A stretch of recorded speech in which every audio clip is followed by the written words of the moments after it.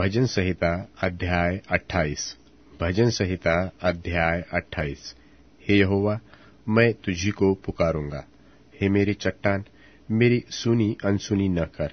ऐसा न हो कि तेरे चुप रहने से मैं कब्र में पड़े हुओं के समान हो जाऊँ, जो पाताल में चले जाते हैं।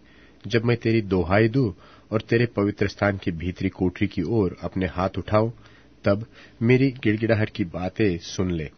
उन दुष्टों और अनर्थकारियों के संग मुझे न घसीट, जो अपने पड़ोसियों से बातें तो मेल की बोलते हैं, परंतु हृदय में बुराई रखते हैं।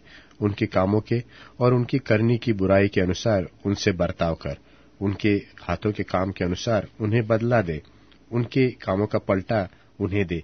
वे यहोवा के कामों पर और उसके हाथ के कामों पर ध्यान नहीं करते। इसलिए वह उन्हें पछाड़ेगा और फिर न उठाएगा। यहोवा धन्य है, क्योंकि उसने मेरी गिड़गिड़ाहट को सुन लिया है।